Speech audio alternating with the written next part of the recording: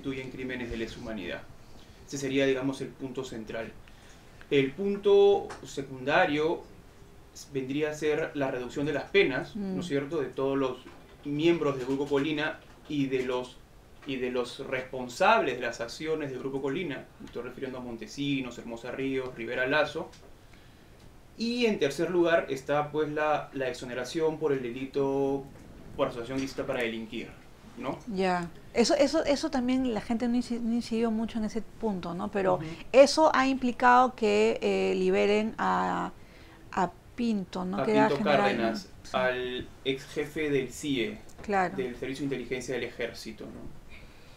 Sí, y bueno, y sobre eso, eh, digamos, eso también implicaría que podría salir Santiago Martín Rivas, no sé. Eh, no, Santiago Martín Rivas está absuelto del delito por acción ilícita para delinquir. Eso está claro, ¿no es cierto? Pero ha sido encontrado responsable por el delito de homicidio calificado por los hechos de Barrios Altos, el Santa y Pedro Yauri. ¿Cuál es el problema con, Santiago Martín Rivas? Él está condenado, ahorita, ahorita está condenado a 22 años de prisión por estos hechos. Es la, condena, la, la, sentencia, la resolución dice eso. O sea, le han rebajado de 25 a 22. Le han rebajado de 25 a 22. ¿Cuál es el problema? El problema es que al haberle retirado la calificación de delito o de el adjetivo lesa humanidad, mm. este crimen se ha convertido pues en un delito común. Y al ser un delito común es pasible de eh, es pasible de, ser beneficiario de los beneficios penitenciarios, ¿no es cierto? Básicamente el 2 por 1. Aún cuando sea, digamos, un delito, porque eso es lo que dice Biestein, ¿no? Digamos, lo que sostiene Biestein es que sí, bueno, se ha quitado la humanidad, pero sigue siendo violación de derechos humanos. Sí, claro, lo que pasa es que... Eh, ¿Cuál es la diferencia entre lesa humanidad y los otros delitos? O sea, lesa humanidad eh, bueno, está eh, comprendido dentro de la Corte Penal Internacional, se supone que hay...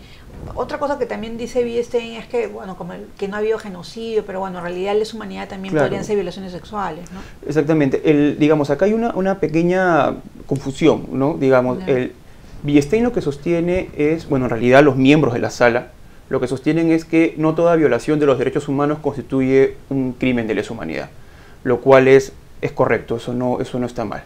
Eso es cierto. Para que se constituya una violación de derechos humanos en un crimen de lesa humanidad se tienen que, se tienen que presentar ciertos requisitos constitutivos, digamos, dentro de los cuales está el, que el ataque forma parte de un, ¿no es cierto?, de, un, de una violación generalizada o sistemática, ¿no es cierto?, de derechos humanos y es un ataque contra la población civil, ¿no es cierto? Ya, y, bueno, el pero de Biestein es que no se trataría de población civil. El, pero de, de exactamente, lo que dice, bueno, lo que dicen los cinco, los cinco, claro. los cinco, ojo, hay que recordarlo exactamente, eh, los cinco magistrados, porque después ellos han querido disculpar diciendo que tres han emitido un voto singular en el que dicen que sí hay lesa humanidad, pero lo que es cierto es que los cinco firmaron la resolución por eso hay resolución, por eso hay sentencia. Los cinco firmaron la resolución en la que se sostiene... ¿Quiénes son los cinco? Está... A ver, déjame... Chequea tu sentencia. Sí, para no decir así esto, para no decir en los nombres equivocados, ¿no? Está el vocal Villestein, el vocal Pariona Pastrana. Pariona. Pariona Pastrana, Salas Arenas, Miranda Molina y Morales Parragués. Los cinco firmaron la resolución y en consecuencia los cinco han votado porque este crimen, porque los, hechos de Barrios Altos no constituyen crimen de lesa humanidad. ¿no? Pero, ¿qué significa que tres dijeron que, o sea, que tres sostuvieron que, bueno, ¿cómo fue la cosa? Que, eh, que hubo tres vocales que sí, sí consideraron lesa humanidad o sí consideraron la acusación fiscal? Eso es algo medio cantinflesco. Lo que están sosteniendo en la radio es, es, algo, es algo difícil de entender, porque claro, ellos dicen, sí consideramos que hubo delito de lesa humanidad, pero al mismo tiempo votaron por la resolución en la que dicen que no hubo delito de lesa humanidad. O sea, ¿en qué quedamos? Pero ellos, o sea, cuando dicen sí, nosotros consideramos que eso era de lesa humanidad, hay un dictamen en minoría. No, no, no son votos adicionales, son votos... Ah, votos adicionales. Exactamente, no, no, es un dictamen en minoría. ¿Y quiénes son los que votaron adicionalmente? O sea, ¿quiénes fueron los dos que sí votaron de sacar la lesa humanidad, aparte de Biestein, Pariona,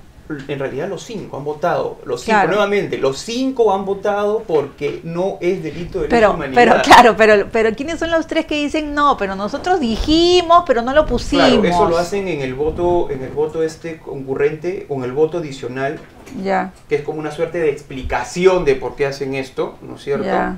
Eh, son esta Sala Arena, está Miranda Molina y, si no me equivoco, Morales Parragues. Ah, ya, o sea, Parión y Biestein fueron los que dijeron sí, sí, definitivamente. Pero nuevamente, yo esto insisto, son los cinco, son los cinco, o sea, en la... Porque esos cinco han firmado la resolución que dice que los crímenes o los hechos de Barrio Salto, El Santa y Pedro Yauri no constituyen delito o crimen de lesa humanidad porque no estaban dirigidos contra la población civil. Eso lo dicen los cinco en la resolución principal. Ya. después lo que han dicho ellos ya es una disculpa, nada más. Y yo quisiera regresar, ahorita tenemos que hacer un pequeño corte, pero quisiera regresar con una pregunta que es, eh, todos conocemos el crimen Barrios Altos, pero pocos conocen lo de Pedro Yauri y lo del Santa, y a ver si nos explicas en qué consistieron esos crímenes y regresamos en un ratito.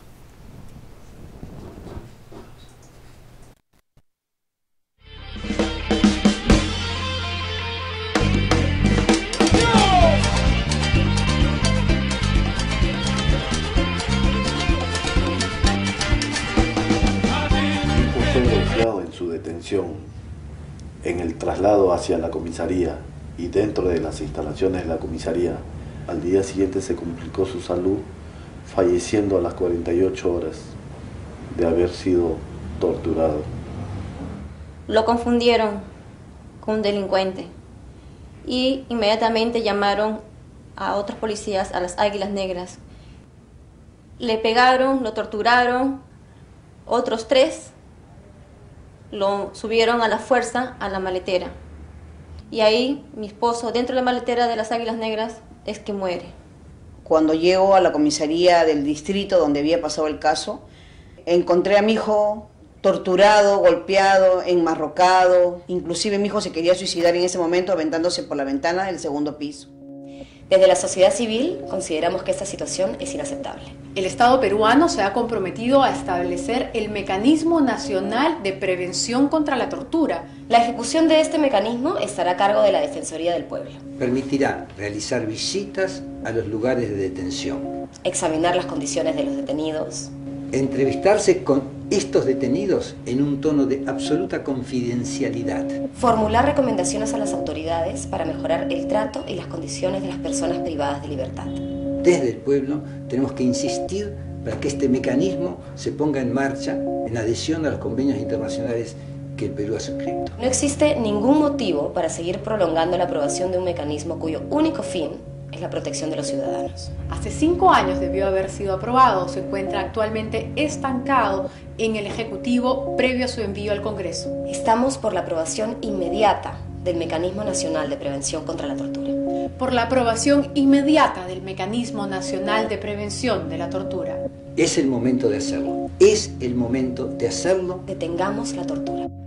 Del conjunto de la población depende que detengamos para siempre este flagelo llamado tortura.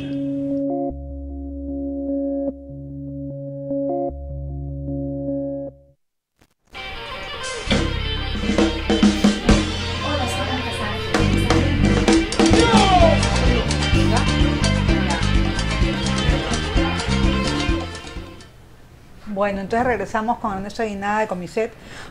y bueno, eh, eh, bueno, el tema de, los delitos de El Santa, bueno, hace poco que se encontraron los restos de estas personas, estos obreros que fueron asesinados por el grupo Colina en esta zona cerca de Chimbote, llamada El Santa, todas personas, bueno, trabajadores, y este asesinato fue, digamos, un encarguito, ¿no?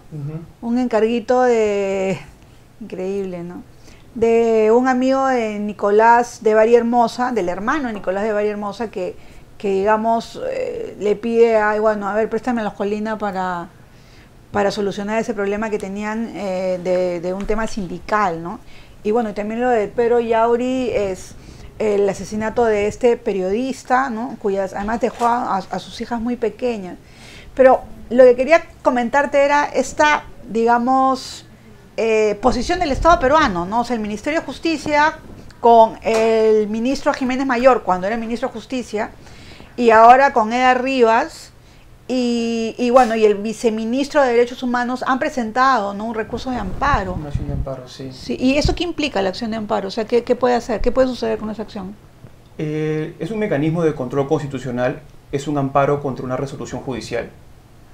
Va claramente supuesto previsto en el Código Procesal Constitucional que lo que persigue es dejar sin efecto la resolución judicial. Lo que persigue es que un juez constitucional o en la vida constitucional se señale que esta sentencia en concreto, la sentencia emitida, es inconstitucional. ¿Y es inconstitucional? Eh, sí, por todo lo que tiene, eh, habrían bastantes argumentos para sostener que es inconstitucional, ¿no? O sea que digamos, bueno, ¿y, qué pasaría si, ya, si un juez decide que no, que no, que no admite el recurso de amparo, ¿qué otras cosas se pueden hacer? Si un juez no admite el recurso de amparo, tendrían que apelar, irían a, la sala y si eventualmente se rechaza el recurso, llegaría al Tribunal Constitucional.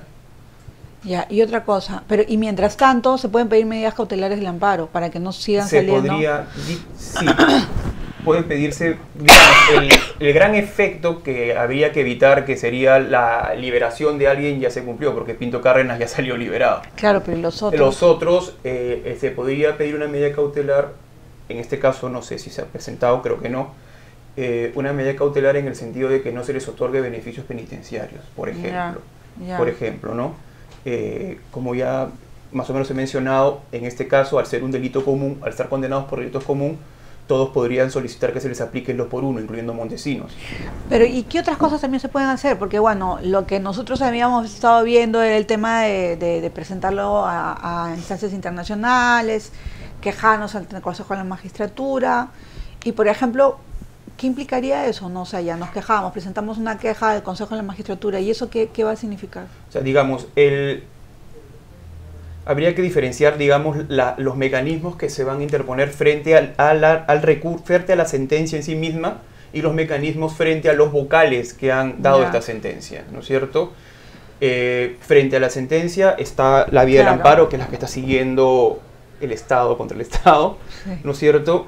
Y está la vía de recurrir a instancias internacionales, ¿no? En este caso concreto, aprovechar la supervisión de sentencia ¿no? de la sentencia de Barrios Altos ante la Corte Interamericana de Derechos Humanos, ¿no es cierto?, aprovechar esa vía y pedir en supervisión de sentencia que eh, la Corte diga que esta resolución de la Corte Suprema no se ajusta a los estándares que la propia Corte fijó en la sentencia del caso Barrios Altos, ¿no es cierto?, y que ordene pues que se emita una nueva resolución, ¿no es cierto?, señalando que como no se ajusta, el Estado tiene, no, no ha cumplido con sus obligaciones internacionales y tiene que volver a emitir una nueva resolución.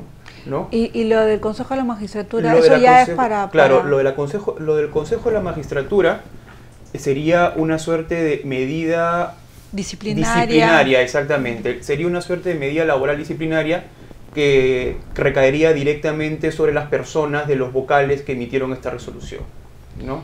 Ahí lo que se estaría buscando en concreto sería la destitución de estos de estos cinco, de estos cinco señores, estos cinco vocales, ¿no? Dime, por el caso de Barrios Altos, ¿cuántos son los acusados? Uf, un montón. O sea, como 20. sí, son bastantes. No tengo el número exacto en la cabeza, pero son muchísimos, sí. Pero digamos, eh, o sea, ahí hay de autoría inmediata y autoría inmediata. Autoría inmediata y autoría inmediata, ¿no? Que, eso, por ejemplo, es un tema que también es interesante señalar en la sentencia, ¿no? Eh, pero no la reconoce. No la reconoce, exactamente, no la reconoce. Pero eso ya esto, digamos, es algo que viene desde atrás, ¿no? Eh, el juez Villestein tiene, señala y sostiene que esa tesis no es aplicable en el ordenamiento jurídico peruano. Y esto es una posición que tiene desde hace bastante tiempo y que la ha venido sosteniendo, por ejemplo, en el caso Parjo, lo mm. sostuvo así, lo dijo así, y en otros casos ¿no? que la sala ha estado viendo. Para él la responsabilidad que es mediata, la responsabilidad es de los ejecutores directos. Y es por eso, por ejemplo, que en esta sentencia más pena tienen ahora los ejecutores directos que los hombres de atrás. Al haber reducido las penas a Montesinos, a Hermosa Ríos, a Rivera Lazo les ha reducido la pena de 25 a 20 años y a Martín Rivas y a Carlos Pichilingue le ha reducido la pena de 25 a 22. Y, y, y lo que te quería preguntar era algo que se ha estado diciendo también, es que eh, Stein durante el juicio oral se comportaba de una manera Mm. bastante soberbia con, con ustedes. O sea, no, sí, no, no solamente es, yo diría hasta grosera, ¿no? ¿Por qué? O sea, ¿qué, qué decía? Hasta es, él tiene pues una, una animadversión con respecto a los, a los caviares, ¿no? Ya, Así, bueno. Sí, tiene una animadversión, tiene algo, algo personal, una ojeriza. Y eso se manifestaba en la audiencia. En la audiencia de la vista y la causa, ¿no? Esto, eh, por ejemplo, cuando hacía preguntas, nos cortaba, ¿no es cierto? Eh, hacía, hacía comentarios irónicos, burlescos, no se burlaba, ¿no? Por ejemplo, a, a Rivera Lazo le preguntó, ¿y usted cuánto tiempo tiene en, en- en- en detención preventiva? No, y le dijo, tengo 11 años. Ah, 11 años. ¿Y alguna organización de derechos humanos fue a, a visitarlo, no? No, ninguna. Ah, ninguna ha ido, pues, sí, pues ninguna ha ido. O después esto, por ejemplo... Con cachita. Claro, o, o después esto... Un, un- como la audiencia fue larga, fue bastante larga, eh, uno de los, de, los, de, los, de, de los, de los procesados levantó la mano y le dijo, ¿puedo ir al baño, no? Y el Villestín le dijo, claro que puedo ir al baño, ese también es un derecho humano, ¿no? Así, se ponía así en plan esto, en plan así, exactamente. Pero, bueno, tú sabes que a mí me enseñó Biestein. ¿Ah, sí? Sí, mi primer año de universidad. y, y, le, y su apodo era el Loco Villa. pues. El loco Villa. Sí. Bueno, Es- eso es lo que, bueno, hace, hace siglos, ¿no? Y lo que, eh, digamos, me enseñó no fue derecho, me enseñó psicología, qué cosa tan rara, pero era un curso de psicología, en fin. Y dime, ¿cuáles son las repercusiones que tendría esta sentencia en relación con el caso Fujimori, ¿no? Porque Nakazaki, este Alejandro Aguinaga, para diferenciar, el médico de, de Fujimori, han dicho, digamos que han salido ya a los medios a decir que bueno, o sea, que esta sentencia, digamos, de alguna u otra manera permitiría eh, repensar el tema. Y bueno, eh, la sombra del indulto se acerca, ¿no? Y se hace cada vez más grande. Entonces, ahí es, ahí es, muy, ahí es completamente pertinente eh, rescatar lo que ha dicho César San Martín, ¿no? presidente de la Corte Suprema, que claramente ha dicho que la sentencia del caso Fujimori es cosa jugada y no es revisable. Eh, lo que se ha dicho en esta resolución... bueno, es su sentencia, claro. Exactamente, lo que es, y es su sentencia además, exactamente. Lo que se ha dicho en esta resolución, que contradice abiertamente en muchos aspectos lo que se dijo en la sentencia del caso Fujimori, eso también es bueno recordarlo, eso también tiene que ver un poco con las pugnas internas que existen ahí en el seno de la Suprema. Esto, esta sentencia claramente contraviene lo que se ha dicho en la sentencia de Fujimori. En la sentencia del caso. Fujimori por Barrios Altos se señala expresamente que los crímenes del Grupo Colina son delitos de lesa humanidad y en esta se dice que no. Claro, ¿No es claro. Entonces, entonces el tema sería que hay una contradicción. una de Exactamente, digamos, eh, en término, en una sentido, esquizofrenia. claro, jurídica. en sentido lato habría una suerte de violación del, del principio de igualdad ante la ley, en sentido Ya. lato, ¿no? Ahora, jurídicamente hablando, eh, la sentencia del caso Fujimori es cosa juzgada y ya no es revisable. Lo que van a hacer los fujimoristas con seguridad que es utilizar la sentencia Claro, del caso supuesto. como un argumento político Claro. para presionar no mecanismos de impunidad tipo indulto, ¿no? Dime, ¿y por qué en, en el juicio Fujimori se tuvo Fujimori solo y no con todos los otros? ¿Fue por, por la extradición o...? Es por la extradición, exactamente. Es por la extradición. Sí. Porque claro, o sea, si todos son, digamos, o sea, autores inmediatos, autores inmediatos, la no sé qué, bueno, Es digamos. básicamente es por eso, ¿no? Ya bueno, este, nosotros te agradecemos bastante, Ernesto Aguinaga, por haber venido acá. Eh, y bueno, eh, también al margen de, de todo el tema legal, jurídico, que eh, se están encargando diferentes abogados, organismos de derechos humanos, el Estado, el viceministerio y etcétera. Yo creo que un asunto bien importante es salir a las calles también, ¿no? O sea, el- la estrategia más política, la estrategia de las calles y la estrategia de la indignación, porque verdaderamente haber pasado durante tantos años, o sea, la marcha de los cuatro suyos, justo el, el viernes se va a recordar la, la muerte de- de los serenos del Banco de la Nación en el último día de la marcha de los cuatro suyos, todo lo que ha sucedido, todos estos años, la Comisión de la Verdad, todo ese trabajo para construir ciudadanía para que de pronto, de un plumazo, se borren años de años de este tipo de trabajo con una sentencia que es una vergüenza para el Perú, ¿no? Porque en estos momentos que se está dando una sentencia por 50 años a Videla por secuestro de niños, o que se están, digamos, llevando toda una serie de casos en, en Colombia sobre el tema de, los falsos positivos y todo esto. Eso es completamente cierto, ¿no? Es una vergüenza para el Perú a nivel internacional. Eh, el Washington Post ha recogido esto en un editorial. Amnistía Internacional ya se pronunció sobre este tema, WOLA también se ha pronunciado ya sobre este tema, entonces digamos que estamos nuevamente en el ojo de la tormenta, ¿no? Por este asunto. Bueno, yo espero que la próxima vez que te invitemos no sea por este tipo de temas, sino por otros temas de derechos humanos más propositivos. Y regresamos entonces con un video sobre el primer año y el tema de derechos humanos en este gobierno de Ollantumala-Tazo.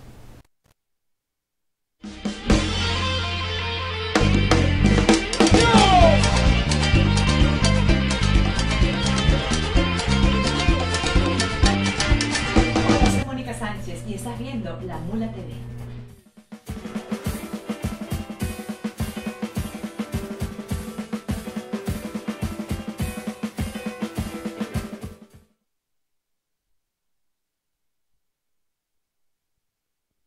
Encanta leer Poder. Me gustan los temas que trae cada, en cada edición, me gusta cómo toca cada uno de esos temas con la debida profundidad, con el análisis serio, con una buena compilación de información.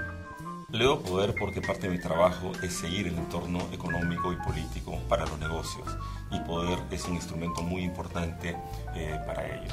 Es sumamente valioso porque además de darle agilidad, permite visualizar cosas que se entienden más claramente con una imagen que incluso con un párrafo.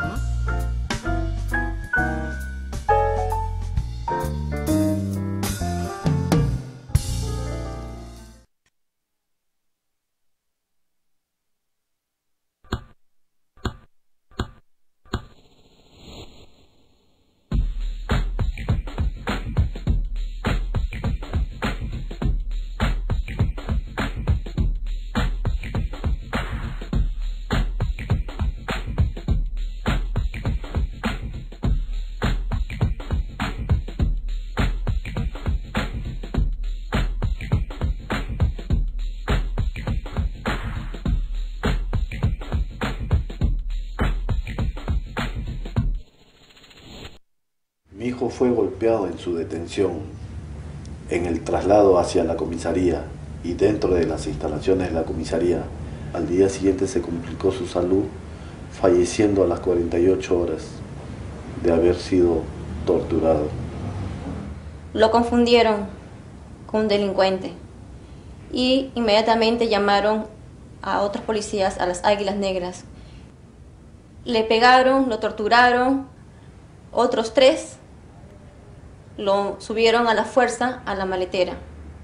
Y ahí mi esposo, dentro de la maletera de las Águilas Negras, es que muere.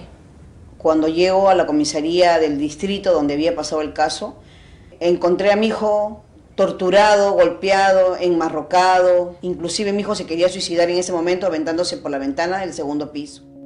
Desde la sociedad civil consideramos que esta situación es inaceptable. El Estado peruano se ha comprometido a establecer el Mecanismo Nacional de Prevención contra la Tortura. La ejecución de este mecanismo estará a cargo de la Defensoría del Pueblo. Permitirá realizar visitas a los lugares de detención. Examinar las condiciones de los detenidos.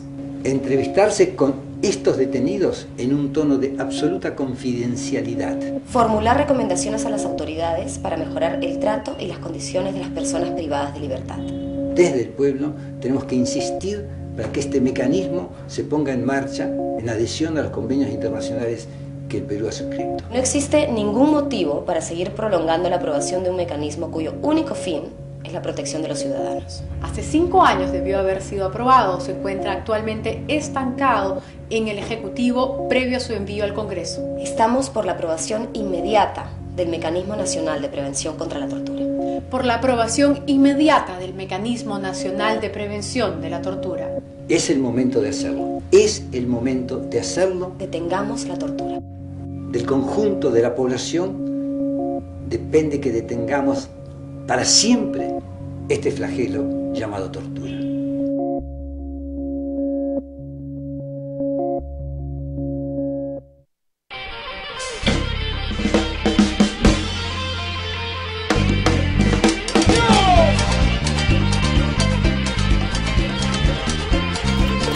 Pero coméntame el informe. Pues, entonces, Uy, hola, regresamos acá rápidamente, no pasamos el videito, no importa. ya, o sea, a ver. este, pasemos un video cortísimo de dos minutos sobre qué ha pasado en este año, qué fue lo que dijo Yantumala el 28 de julio del año pasado, cuáles eran las expectativas y bueno, vamos a ver, hacer el análisis aquí con Marisol Pérez Tello, la congresista Marisol Pérez Tello. Gobierno, revisamos el discurso del entonces flamante presidente Ollanta Humala Buena parte, buena parte de los conflictos del planeta se deben a la carencia del agua.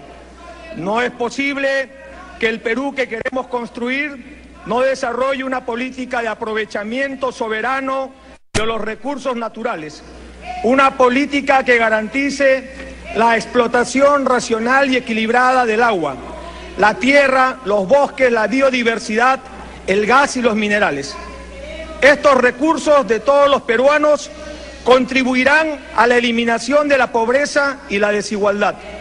Se alentará la actividad privada sobre los recursos naturales, pero estos serán explotados en condiciones de respeto a las poblaciones, a los trabajadores y al medio ambiente. El gobierno hace eco de la alerta mundial sobre el cambio climático y se compromete a fortalecer la regulación y dedicarse con seriedad a las labores de preservación de nuestra biodiversidad, del recurso hídrico y de los glaciares. Será una prioridad para nosotros la prevención de los desastres. Debemos poner fin a las secuelas de la violencia terrorista que vivimos y cumplir con las reparaciones individuales y colectivas. Es necesario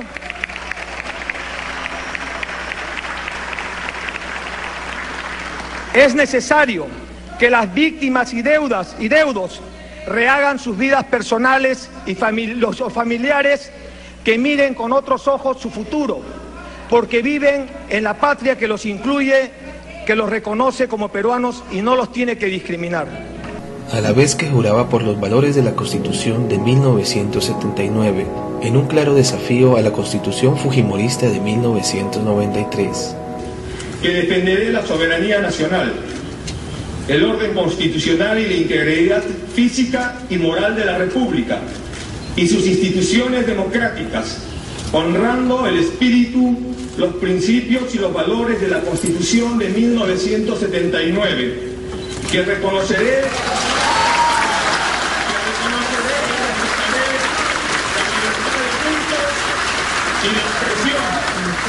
y lucharé incansablemente por lograr la inclusión social de todos los peruanos, especialmente de los más pobres. Hace cinco años, un Humala de polo rojo se mostraba duro con el gobierno de Alan García. Para el señor Alan García, al pueblo solo, solo lo necesitó para llegar al poder, pero para gobernar ya no necesita al pueblo, solo necesita a los que financiaron su campaña. Creemos que este balance es un balance negativo. El señor Alan García Pérez debe saber que su 23% y después los votos prestados eran para eso, para que haga el cambio, lo que llamó el cambio responsable. No era el mal menor, era el peor de todos los males. ¿Cómo evaluaría el Humala de ese entonces su primer año de gobierno? Bueno, estamos aquí con la congresista Mauricio Pérez, que es un gusto de verdad de tenerla aquí en el programa. Y bueno, hay muchos temas, pero yo quería comenzar por el tema de Billestein, ¿no? Porque es el tema caliente que estamos ahí. Y bueno, y otra cosa es que de alguna u otra manera Billestein ha logrado algo que no se logra hace mucho tiempo en el Perú, ¿no? Que nos unamos muchos. o sea, nos hemos unido, pero hasta, no sé, desde el comercio y Willas hasta la Coordinadora de Derechos Humanos estamos, digamos, en el mismo frente en el tema de, de Billestein, ¿no? Y bueno, ¿y qué opinas tú de, la sentencia y cuál es tu posición? Bueno, a ver, primero me quedé, me quedé un poco con la foto de lo que decías, no he revisado el correo, lo voy a revisar de todas maneras, pero, pero creo que el Perú se ha indignado y eso es bueno, en medio de todo. Eso es bueno porque a mí me recuerda esta sentencia después de haberla estudiado y leído hasta en dos oportunidades porque la primera vez me confundió, tuve que leer la acusación para entender que claro, las premisas eran falsas y por lo tanto el argumento jurídico podía estar bien, pero las conclusiones iban a ser equivocadas de todas maneras. Y creo que se ha puesto al servicio de la impunidad del derecho, Rocío. Y me recuerda mucho a Nuremberg. Me recuerda mucho, me recuerda mucho al, al, al gran jefe del Poder Judicial de la Alemania nazi, que además era un profesor universitario y que usó el discurso jurídico para justificar de alguna manera los, los asesinatos y, los, y, el genocidio de, mm. judíos, gitanos, de personas con discapacidad, oposición política. es, es jurídicamente cuestionable, por supuesto, pero hace uso de partiendo de las premisas falsas de lesa humanidad y de que no se menciona asociación ilícita para delinquir, del recurso del principio acusatorio, claro, jurídicamente es impecable, pero es falso, pues. Porque sí hay en la acusación fiscal mención a lesa humanidad y sí hay en la acusación fiscal mención a la asociación ilícita para delinquir. Ahora, lo que sucede es que esa acusación fiscal se presenta, o sea, digamos, es una ampliación de la acusación fiscal inicial. Está bien, está bien, pero en primer lugar, miente. Después, después utiliza otro argumento parcial, porque nunca acepta que hay desarrollo del tipo asociación ilícita. Dice, bueno, sí se menciona, pero no se desarrolla mentira. Sí se desarrolla. Y se desarrolla largamente. Pero hay sentencias de la Corte Interamericana en la cual se hace referencia a que el principio acusatorio, en primer lugar, lo que busca es que hayan posibilidades de que la defensa conozca por qué está siendo acusado. Y que esto se puede hacer digamos, subsanando errores previos en algún momento en la medida en que esté orientado a buscar la justicia. En el caso específico del artículo 15 que tú conoces del Pacto Internacional de Derechos Civiles y Políticos, lo dice claramente, el principio de legalidad no puede estar por encima de los principios generales del derecho. O sea, yo creo que él ha usado bien el principio acusatorio, pero primero, lo ha usado utilizando o partiendo de una premisa que no es cierta, es decir, que no se menciona en la acusación fiscal, lo cual está mal, y no hablo solo de Biestein, hablo del colegiado, porque acá no hay ninguno que se libere de responsabilidad. hay que recordar ninguno, de todos son cinco responsables. Sí, eso es lo que... Y lo segundo, que, que, que, me parece todavía más grave, es que con este argumento se ha ido construyendo. Por ejemplo, si yo me cargo, entre comillas, lesa humanidad, aplico la no eh, la imprescriptibilidad, la no imprescriptibilidad para los casos de asociación ilícita que no puedo prescribir. o, que puedo prescribir. Entonces prescribo acá y los que no puedo prescribirlos porque todavía no ha transcurrido el plazo, entonces aplico principio acusatorio. Pero además aplico con autoría y autoría inmediata para que pueda sacar del juego adelante, más adelante, más temprano que tarde, aquellas personas que no tuvieron una actuación directa. Y con toda esta lógica reduzco la pena cuando además el código que se aplicó en ese momento fue el código que no acumulaba pena, sino que tomaba la pena más alta. Por, por lo tanto, no tenía por qué reducirse. Cuando se aplica en ese momento, se aplican 25 años por homicidio y los demás se subsumen. Claro, claro. No se aplica sumatoria de penas. Entonces, él ha jugado con el derecho. Luego aplica la reducción de la pena aplicando el nuevo código porque beneficia al reo. O sea, te das cuenta que, que claro, desde el punto de vista jurídico, tú lees el documento y primero dices, bueno, ¿dónde está? Qué horrible, pero esto es verdad. No, no es verdad, pues. O sea, es mentir, es una aberración. Bueno, pero, pero también salieron los fiscales a, desmentir, ¿no? Que eso también ha sido como la vergüenza nacional. O sea, los fiscales a decir, no, nosotros sí hemos acusado. Claro, pero a ver, o sea, lo que, ¿quién lee en este país que yo adoro, nadie. que yo adoro? No, ni siquiera las conclusiones, pero, pero la sentencia que tiene 400 páginas y la acusación que tiene 350, no lee nadie. Es más, ni siquiera creo que la haya leído el colegiado, la verdad. bueno, en todo caso. mucho respeto. Lo, lo que, pero, a ver, lo que, lo que nos está diciendo es algo que, bueno, ha sucedido en, en nuestro país, ha sucedido en Alemania, sucede en Argentina, ha sucedido en Colombia, y es precisamente el uso del derecho para fines políticos interesados, ¿no? Y en ese sentido quería preguntarte, ya que tú estás en el Congreso, eh, ¿cabe la posibilidad de una acusación constitucional? Mira, ahí hay un tema. Contra hay, y contra todo el colegiado. hay un tema en el que te pido, tengo que tener, y, estoy tan mortificada con el tema de avergonzada, además, para, frente a las víctimas, frente al Perú y frente a la historia, que tengo que callarme, pero yo soy parte de la subconvención de acusaciones constitucionales. Entonces, si adelanto juicio en, en- en- en Ya. función de la actuación individual, ya podría yo autolimitarme Claro, a una porque, actuación posterior. Bueno, lo que nos estaba comentando Ernesto Aguinada es que hay dos tipos de recursos, uno contra la sentencia y otra contra las personas que han emitido la sentencia. Por eso Entonces, es que yo tú- critico la sentencia. Ya, porque no bien. puedo adelantar opinión sobre lo demás. Y porque en todo caso mm, tampoco cuestiono sus móviles. Eso lo juzgará la historia. Y lo juzgaremos los de la acusación constitucional si llegue el momento. Pero en, en este momento lo que puedo criticar con total tranquilidad es la sentencia. Bueno, pero ¿y, y qué te parece para hablar de- de- del lado positivo de todo este tema tan negativo, la actuación del Ministerio de Justicia? muy positiva. O sea, yo creo que esa, esa actuación la debió tener eh, nuestro flamante premier desde el principio. Yo se lo he dicho siempre. Quienes trabajamos en derechos humanos, porque además eso no es un tema de partidos, independientemente No. de nuestras diferencias ideológicas legítimas, eh, que, y que lleguemos a tener poder, entendido este como servicio, tenemos que ponerlo al servicio de estos derechos humanos por los que hemos peleado y además que en nuestro país necesitan ser entendidos, reconocidos, respetados, base para justicia social, base para desarrollo, base para crecimiento. Y mm, yo siempre le critiqué a, a Jiménez Mayor y por lo menos con esto me ha dado una esperanza que no haya hecho docencia con los derechos humanos a propósito del caso Cruz. Eh, Le dije, oye, eso lo he dicho en público y en privado. ¿Por qué? A, a propósito del caso... Del caso Cruz, mm, odio decirle Ah. Chavín de Huántar, pero el caso, el caso Chavín de Huántar, si quieres. ¿Por qué? Porque pudo haber hecho docencia.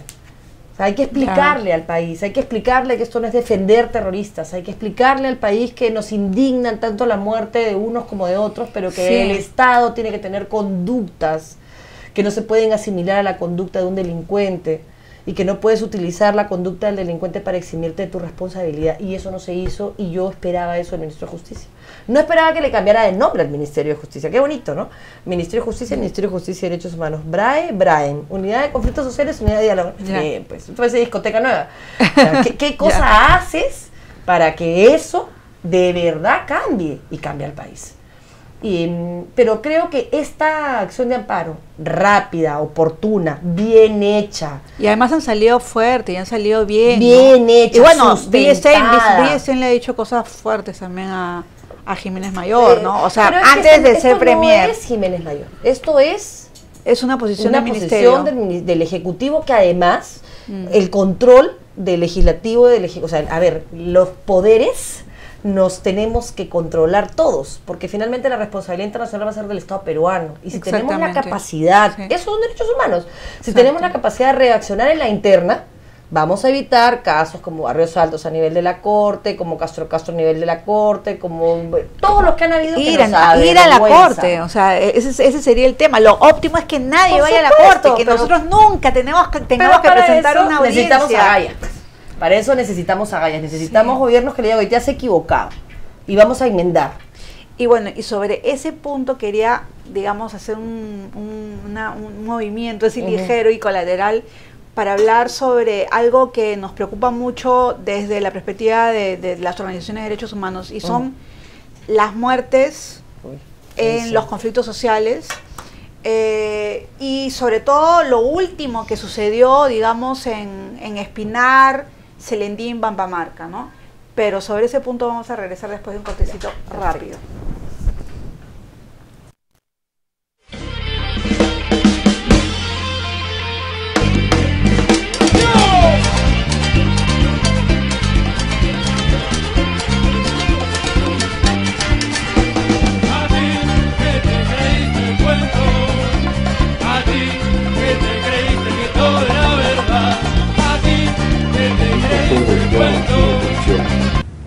En el traslado hacia la comisaría y dentro de las instalaciones de la comisaría, al día siguiente se complicó su salud, falleciendo a las 48 horas de haber sido torturado.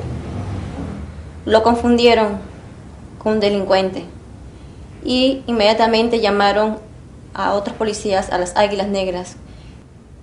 Le pegaron, lo torturaron, otros tres lo subieron a la fuerza a la maletera. Y ahí mi esposo, dentro de la maletera de las Águilas Negras, es que muere. Cuando llego a la comisaría del distrito donde había pasado el caso, encontré a mi hijo torturado, golpeado, enmarrocado. Inclusive mi hijo se quería suicidar en ese momento aventándose por la ventana del segundo piso. Desde la sociedad civil consideramos que esta situación es inaceptable. El Estado peruano se ha comprometido a establecer el Mecanismo Nacional de Prevención contra la Tortura. La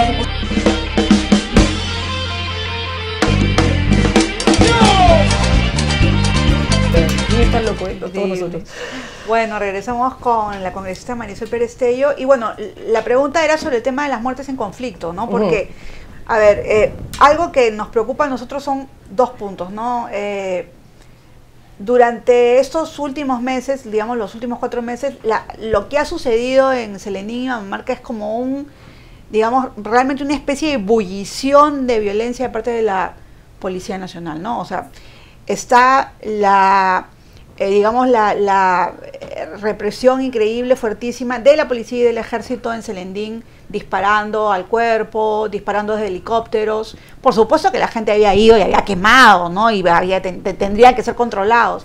Pero eh, se dieron cuatro muertes, ahí cuatro muertes, dos de las cuales eran, por ejemplo, del chico este César Medina, que salía de una cabina de internet.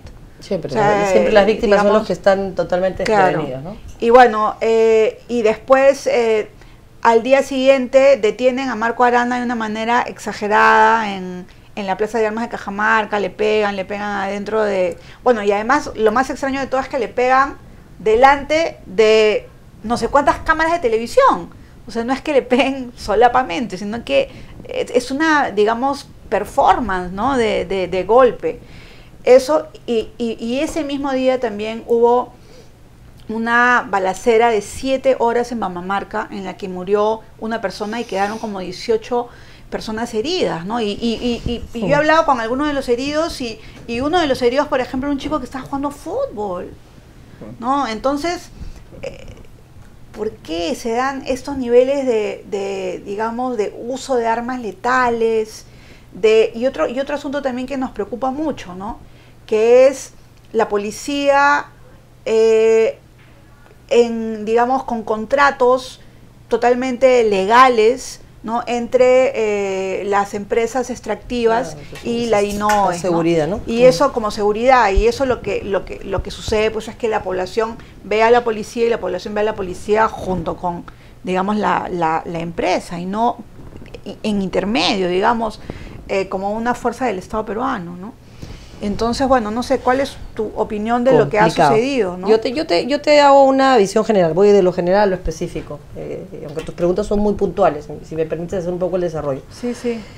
Yo creo que las muertes de estas 15 personas y los heridos, en general la violencia que se utiliza entre comillas para la represión, porque no es para, no es para solucionar el conflicto, ojo, no, no. ojo, eh, que eso es un tema que hay que mencionar eh, para imponer la autoridad, una autoridad que se va perdiendo en el camino, em, no es nueva, no es responsabilidad exclusiva de Ollanta. Esto tiene 15 no, años. No, no, por supuesto. 15 años. En, la época de Alan García habían picos de noventa y tantos personas. Y es una cosa que tenemos que aprender a enfrentar. O sea, yo creo que hay dos problemas. Uno, que no estamos solucionando los conflictos sociales y eso está generando que quienes sienten que necesitan ser escuchados por el Estado, que es casi todo el Perú, pero en fin, las zonas ya eh, más graves, digamos, estos conflictos identificados, tocan la puerta una vez, tocan la puerta dos veces, se les hace un acuerdo, se firma, uno, dos, cuatro, cinco, ya se les tranquiliza, no pasa nada. Solamente pues, pasa algo, solamente mandas un agente eh, eh, que, tiene la, la posibilidad política de, de solucionar el problema cuando hay muertos ya en realidad el recurso de la llanta quemada y de la violencia en una protesta social se ha convertido en la regla cuando quiere ser escuchado. y eso es una responsabilidad del Estado. Por supuesto que hay responsabilidad de quienes generan estos niveles de violencia y tienen que ser sancionados. Pero la violencia, yo siempre lo he dicho, de la violencia física y la violencia verbal es el recurso de los incapaces. Lo que está demostrando el Estado peruano con ese tipo de violencia es, incapacidad, absoluta. Primero para evitar que el conflicto llegue a ese nivel, que es lo que tendríamos que hacer. Y luego ya para el análisis del conflicto en sí. Entonces yo, yo sí te respondo esta pregunta puntual, porque no quiero eludirla, pero luego voy a lo que creo que se tiene que hacer, que es evitar que el conflicto llegue a esa situación. Claro, pero... Llega a esa situación porque no tienen idea. Los policías, y yo no quiero generalizar porque hay hombres y mujeres en la policía extraordinarios, pero estos totalmente descontrolados no, no tienen la menor idea de cómo solucionar el tema. Mandan a 20 sin, sin capacitación, sin implementos. Desde el punto de vista logística, siempre mal implementados. Cuando necesitan las armas no las tienen y cuando no las necesitan las tienen. Sí, Este, exactamente. Y entonces, claro, se enfrentan a 500 y- aterrados, o sea, ni siquiera lo hacen ya de, de, de matones. Diferente es el caso, por ejemplo, de la detención de, de Arana, completamente distinta. Porque en ese caso no tenía ninguna justificación el uso de la violencia. Ninguna, ninguna. Ya no vamos a cuestionar la detención. Ninguna justificación la forma en la que además, si tu objetivo es detener a una persona para investigarla, sea cual fuere el- el- el- las razones, no puedes pues, victimizarla desde la detención. ¿no? O sea, mi- mira, mira lo que lo convertido en un héroe. Yo lo que le decía es que pueden ser tan brutos. Ha sido- detenerlo Ha sido un grave error político. pero para tremendo, quitarle tremendo. para quitarle discurso, ¿no? Para quitarle autoridad moral. Y, y- y- y- y hacen esta bestialidad. Fuera de que es inmoral, ¿ah? fuera de que es inmoral, te demuestra que esto no puede ser planificado. Esto es no tener la menor idea de cómo solucionar el problema. Detienen al alcalde de Cusco sin una orden de detención. Sí, diciéndole que porque estaba, estaba en una camioneta que le pertenecía, porque él era el alcalde, entonces había flagrancia. Lo mandan a Ica. ¿Te das cuenta? Sí, no no hay idea. O sea, ahí quiero dar, dar la sensación de que tengo autoridad. Pero, pero yo creo que sí había, digamos, una idea detrás, ¿ah? Y yo creo que esa idea detrás que ha, digamos, articulado este, esta serie de acciones completamente absurdas está vinculada con un tema de pensar en, en una conspiración, que es, digamos, la propuesta de, de- de Víctor Caballero de- en, en la oficina de conflictos. A mí me parece una gran cosa que Jiménez Mayor lo primero que ella ha dicho es que no. Esto se va a cambiar. Esto Eso- eso es cambia, reingeniería. Eso es una primera solución. Porque no era, o sea, no era una oficina para solucionar No, no. conflictos, sino era una oficina para meterle más leña al conflicto. Si te das cuenta, el conflicto como conflicto no está mal. O sea, la protesta como Pero, protesta es o sea, necesaria. la democracia es así, la democracia es tensa, la democracia No sé, es llena de conflictos, o sea, y está bien o sea, que sea así. No es un lecho de rosas. El problema es que se ha convertido en esta protesta violenta, primero porque está bien, hay gente que se puede estar aprovechando del tema. Hay de pero todo, hay pero- necesidades no resueltas, que además no tienen aparentemente vías de solución. El problema de Pastaza, Tigre y Corrientes es un problema de 40 años, Sí. en el que hay 20 acuerdos, 20 documentos firmados y los pasivos siguen ahí. Tú saltas en la, en la, en la cama de petróleo, saltas en la cama de petróleo. Entonces, claro, Claro. tú le dices a los indígenas, ahí no hay, ahí no hay ningún líder político que, que quiera, ningún APU que quiera hacer nada. Pero claro, si viene un dirigente político y comienza a tejer en esta necesidad que es real, en esta protesta social que es real, pero que nadie escucha, nadie lee sus cartas, nadie se las contesta, nadie piensa que para mandar esa carta los APUs tienen que juntar plata entre todos para poder mandarla a Lima. Claro, Entonces, claro. Si nadie lo recibe, alguien llega, canaliza eso y puede pensar en usarlo como una plataforma política. A mí eso no me interesa. Detrás de quienes, quienes pueden estar usando plataformas políticas hay reclamos justos. Claro, por supuesto que sí. Y además lo que yo percibo, por ejemplo, en el caso de, de Cajamarca y en el caso de Espinal, es que muchas veces es la misma población la que pone la agenda. ¿Tú O sea, no es que- va el, el, digamos, una conspiración y va armando, no, sino que es la misma población que salen, o sea, los propios campesinos, la gente no es idiota, eso es lo que yo... eh, No hay que subestimarlos. siempre, eh, No hay que eh, subestimarnos como país. Exactamente, o sea, nosotros sabemos perfectamente, uno de, los, de, de las poblaciones más politizadas en América Latina es la peruana. claro. O sea, mucho, mucho más que los venezolanos. O sea, Ahora los Pero además no le puedes bueno, echar la cosa, culpa al otro de lo que no has hecho tú. O sea, ¿dónde ha Claro. estado el Estado? ¿Dónde ha estado el Estado? Dicen que hay falta de información. Perfecto. ¿Dónde está el Estado para informar correctamente? Pero no solamente falta de información, sino también es tergiversación del papel del Estado y mucha corrupción. ¿no? Y Bueno, cuando hay mucha nive- los corrupción, niveles de corrupción, en el- mira, el- en lo de Pastaza, porque es una cosa que reciente, donde he estado hace 20 días, me he quedado espantada, es una vergüenza. eh, lo que hay es una ausencia del Estado absoluta. O sea, hay, está el pasivo ambiental ahí. La empresa ya lo reportó, pero como no está la herramienta de gestión, ahí tiene 10 años, contaminando el agua, contaminando todo. Entonces, claro, el Estado no es capaz de hacer la vigilancia y la supervisión que tiene que hacer como Estado. Y lejos de eso, tú me mencionas un tema que es importante, el uso de la seguridad pública como seguridad privada, Sí, que tiene que ver con una serie de cosas, ¿no? Con que el policía en su día franco quiere ganar más plata y entonces trabaja para una empresa a la que en teoría le debe, porque gana más, más lealtad que al Estado. Entonces, Claro, este, pero lo que pasa es que eso se puede entender más o menos cuando es en la ciudad y en la puerta de un banco. No, no, no, Pero, pero- cuando es en el campo, Por eso te en digo, la punta del cerro y, y hay, que te digo, un contingente de dinoes en la puerta de, de, de, de Strata o en la puerta de Porque de nuevamente Conga. se equivoca el rol del Estado, ¿no es cierto? O sea, la empresa tiene que jugar un rol en el cual la empresa siempre va a querer ganar más. El Estado tiene que estar en la capacidad de decir la empresa está aquí.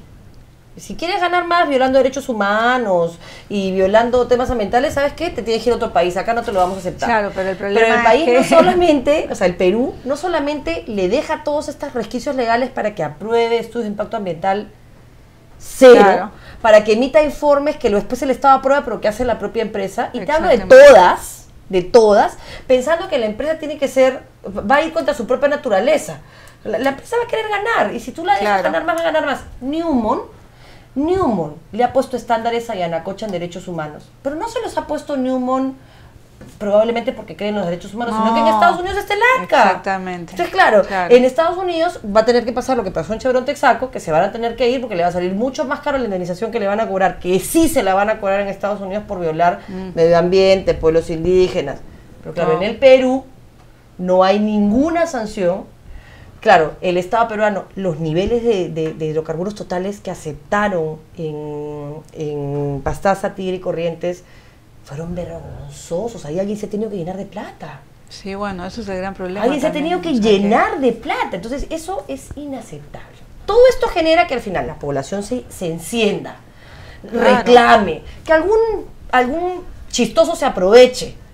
Que después la, claro. la policía o la- la- el Estado, en vez de ir a pegarle al chistoso, que lo ignore, Sí, sí, eso es lo peor de todo. Que lo debe ignorar. Eso, eso es lo peor de se todo. dirige a la población y le diga, bueno, ¿cuál es el problema? ¿Qué pasa? ¿Dónde está el tema? No que se siente en una mesa de diálogo a escucharse a sí mismo o a hacer como que escucha.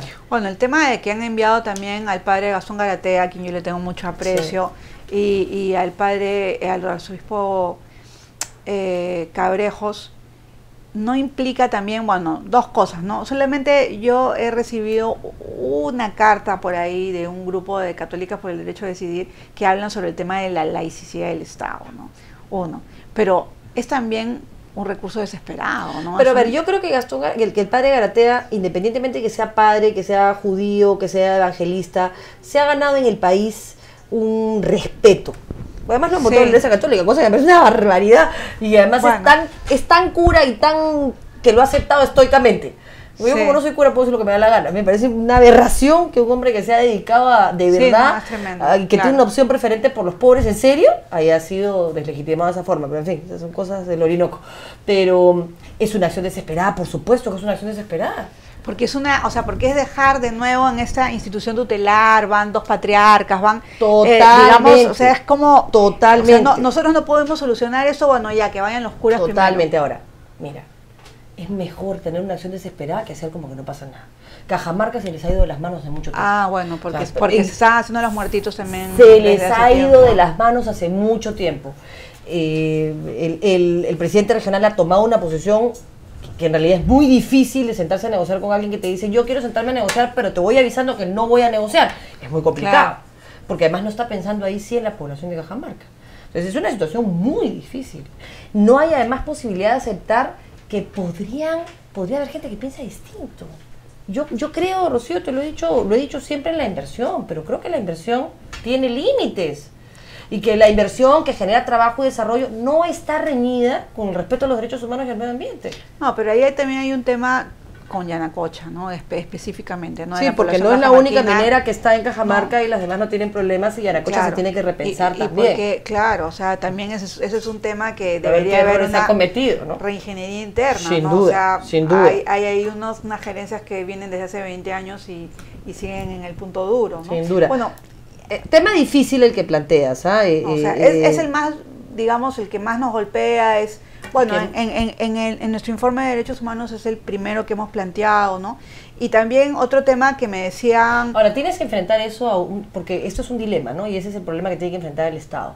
Y yo creo que ese es el que lo lleva a cometer estas violaciones a derechos humanos, porque no son excesos, ¿ah? Esto No, hay que no. sancionarlo. Este, y es, tienes que también imponer una autoridad que no puede permitir estos desmanes. Pero entonces, no tienes capacidad, por ejemplo, para hacer un desalojo como el que se hizo Ah, en por Santa ejemplo, Anita. no, increíble. Ah, bueno, el de la vez pasada, Eh, pero este último desalojo Por eso te digo, ¿qué, qué cosa hiciste en el desalojo de Santa muerta. Anita? Y utilizaste una máquina, utilizaste la cantidad de gente necesaria, la vestiste como debía. Entonces, ¿qué hicieron? Simplemente disuadieron. Pero ventanilla, ventanilla es, es la previa, ¿no? Ventanilla Claro. llego y disparo y le doy a lo que puedo, porque claro, si vienen 500 personas yo me desespero, me asusto y mato a todo el mundo. ¿Quién tiene la culpa? ¿El, el policía No, que siente que su vida no. está en peligro o el que toma la decisión? El que ha planteado el plan operativo. que ni siquiera ni siquiera ha estudiado el terreno en que se enfrenta. Ese este este desalojo de ventanilla es una copia fiel de lo que pasa cuando vas a enfrentar un conflicto social que no conoces.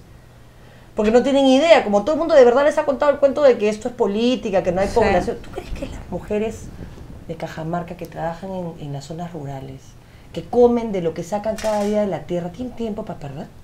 No, por supuesto O que sea, no. y claro. están ahí porque de verdad sienten que de por medio está su vida. Claro, pero hubo también dos momentos bastante indignantes. Uno, cuando se pateó la olla común, que fue terrible, porque es la comida que tú estás preparando para todos y que ven el policía y le mete una patada. Es como, es botar la comida al suelo, literalmente, Bueno, ¿no? pero esas son matonadas que tú has, tú has escuchado a Pinto, ¿no? Y, La- es- claro. Ustedes ganan plata con, lo, con los muertos que desentierran y a mí me provoca decirle, ojalá lo tuviera al frente, bueno, pero con los que enterraste tú. O sea, el- el- te das cuenta que, que- que si tú lees la sentencia de Biestein y vuelvo solamente para hacer referencia a eso, ¿cómo es que se relatan los hechos? Hay una justificación racional, porque yo, Ah, bueno, yo, claro, a- yo me sí. moriría de pena frente a un muchacho de 24, 25 años o de 30 años policía, con los sueldos que tienen, con lo maltratado que tiene, que venga, llore y me diga, Marisol, estuve frente a 400 personas aterrado, pensé en mi hijo y entonces disparé. Diría cómo lo hemos sometido a esta situación. Pero tienes al matón, que lejos de hacer eso dice, a ver, No. ¿ahora quién, no? Sí, Pero, claro. o sea, eso, eso, Eso fue el, que- eso- el otro momento de la captura de Arana, que fue como la, la cola, es esa, este policía que le dice a una mujer cajamarquina, ella le pregunta, además esa pregunta, ¿no? ¿Por qué nos hacen eso, no? ¿Por qué nos tratan así? Y él le dice, porque son perros, ¿no? Y le surota. Entonces, esa percepción es una percepción, bueno, que yo vengo trabajando hace años con este tema de, de pensar que el otro, o sea, Es el enemigo. No solamente el enemigo, el otro es basura. El otro es, es, es asqueroso, el otro tiene que salir del sistema. Para que tu sistema funcione, el otro tiene que salir del sistema. Bueno, es que sí, sí, sí, eso es una lógica que viene desde arriba y se comienza a trasladar y la hemos intentado corregir. O sea, mira, tenemos 20 años trabajando por lo menos en que nuestras Fuerzas Armadas, que yo respeto y defiendo, tengan el discurso de los derechos humanos y que entiendan que los principales llamados a defenderlos son ellos. Por supuesto. Se ha logrado y se ha avanzado muchísimo, pero no te, no te falta todavía alguno que considera que los derechos humanos los han dejado eunucos, para usar un término respetable. O sea, que no los dejan actuar, porque por los derechos humanos no puedo hacer nada. Ya, ya si alguien piensa que decirle no mates al que se supone que tienes que defender es, claro. impedirle hacer su trabajo, te das cuenta que su trabajo es... es Bueno, no, y, y, y- y también, o sea, la coordinadora, también nosotros hemos este, hecho innumerables talleres de derechos humanos. Y claro, la pregunta sería, ¿qué es lo que ha fallado también desde nuestra parte? ¿no? O sea, en, en todos estos talleres que hemos tenido con la Policía Nacional, No, se ha etcétera. avanzado ¿no? muchísimo, Rocío. O sea, hoy hay una maestría en el CAEMA donde tú puedes ver sentado a alguien, eh, a, a la esposa de, de- de una persona que ha sido víctima de, las Fuerzas Armadas y a un general, y todos conversando y, y todos buscando de verdad reconciliarse. Yo he sido madrina, además he tenido el honor de ser madrina en la primera promoción de la maestría de Derechos Humanos del Ah, CAEM. sí. Y Ah, lo he visto. Y he visto ahí a, a- a una mujer viuda por efectos de la violencia política y a un general, general, o sea, no jovencito, de esa época, asumiendo su responsabilidad y terminar los dos abrazados diciendo vamos a trabajar por el Perú. O sea, de verdad, una experiencia extraordinaria. Se ha avanzado mucho, pero este tipo de situaciones en las cuales el Estado pierde el control, se asusta, eh, le preocupa la encuesta, eh, tiene pues la tendencia de la bota, ¿no? Bueno, en todo Siempre caso- peligrosa.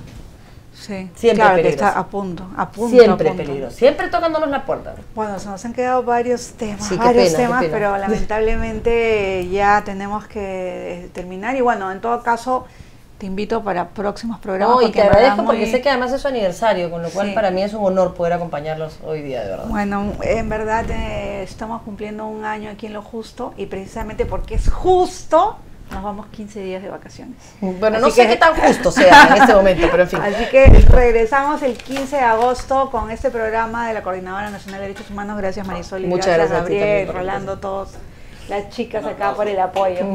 Sí. Eh, Sale. Volvemos en 15 días.